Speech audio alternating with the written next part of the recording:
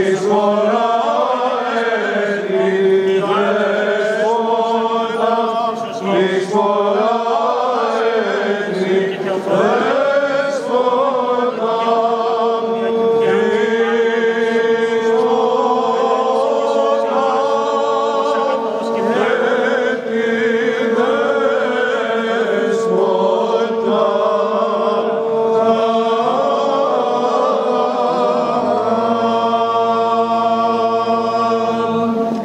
Κατακλείδη μεταφέρω σε όλους σας τις ευχές και τις ευλογίες του Οικουμενικού μας Πατριάρχου, του Κυρίου, Βαρθο- Κυρίου Βαρθολομαίου και εύχομαι εις όλους σας ο Άγιος Χαράλαμπος να ευλογεί και να σκέπει εσάς και τις οικογένειές σας και του χρόνου με υγεία.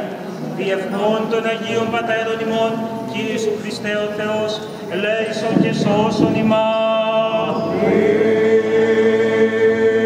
Από εφέτος βρίσκομαι στην ευχάριστη θέση να σας αναγγείλω ότι Θεού θέλοντος και εφόσον εξασφαλιστεί και η απαιτουμένη άδεια, του χρόνου κατά την ημέρα ταύτη θα έχουμε συλλειτουργό εντάφθα το Σεβασμιότατο Μητροπολίτη Νέας Κρίνης και Καλαμαριάς, κύριον Ιουστίνο, από τη Μητρόπολη όπου κατέφυγε το μεγαλύτερο τμήμα της Μητροπόλεως αυτής, της Κρίνης, που εγκαταστάθηκε στα περίχωρα της Θεσσαλονίκης και απετέλεσε τον Δήμο Νέας Κρίνης.